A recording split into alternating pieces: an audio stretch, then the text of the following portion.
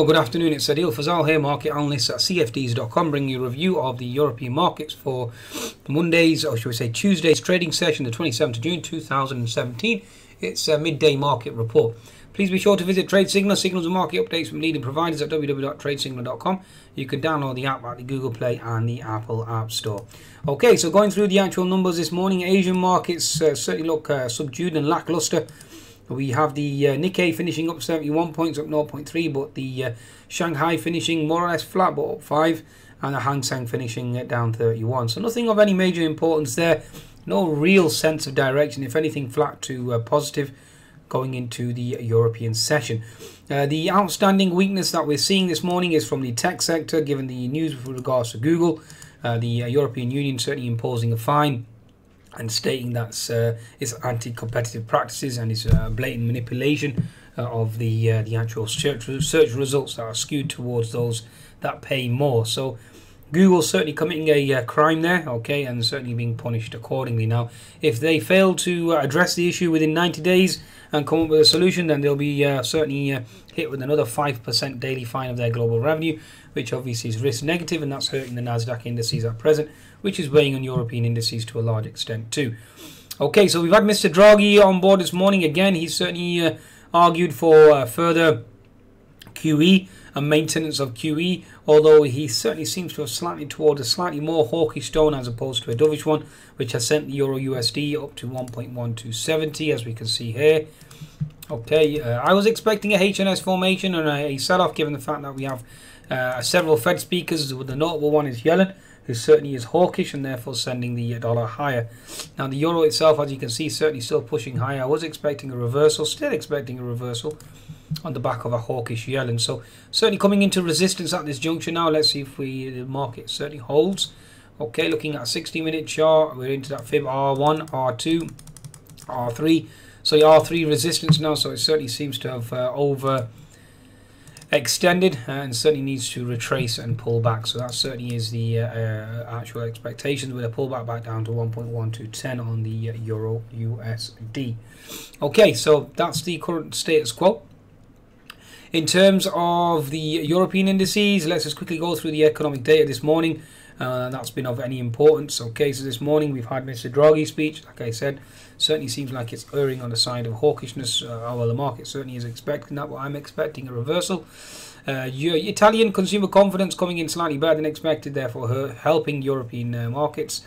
UK CBI certainly came in stronger as well, and now we're looking forward to the Red Book S&P Case-Shiller, Richmond Fed, and then FOMC Harker and Yellen speaking later on. Also, we have Mr. Kashkari, and keep an eye out for the uh, API data, oil data at 9:30 p.m. because that can certainly move the FTSE and move the markets. Okay, let's move on to the FTSE 100 and uh, European indices. Start off with the German DAX first. Okay, German DAX and the daily chart.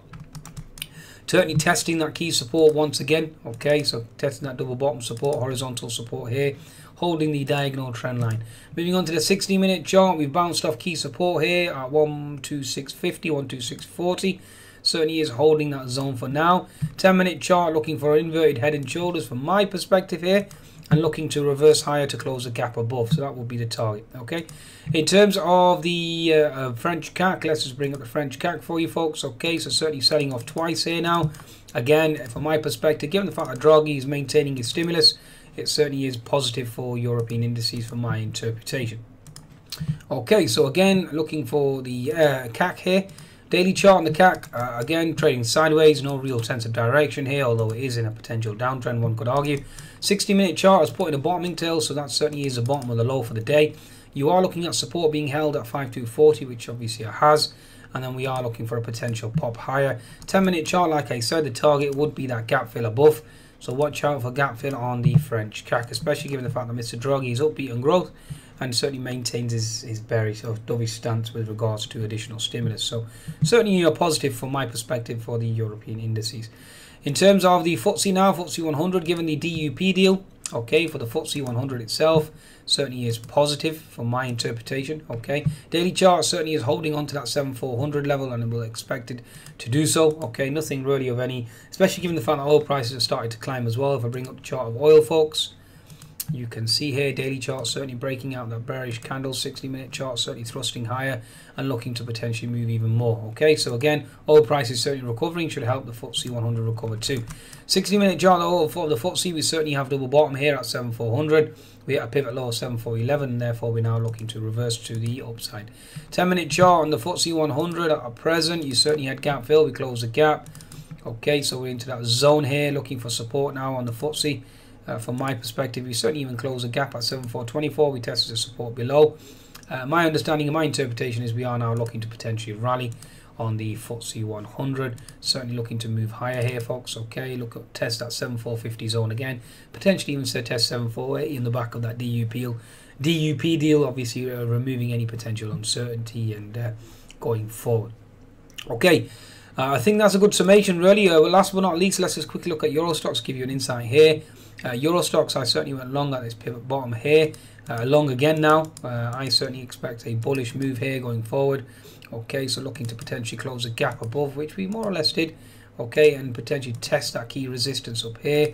Previous support equals resistance. Okay, so potentially another 3, 5, 60 test and 3, 5, 70 and 80 test certainly beckons on the Euro European indices. So certainly bullish from that perspective.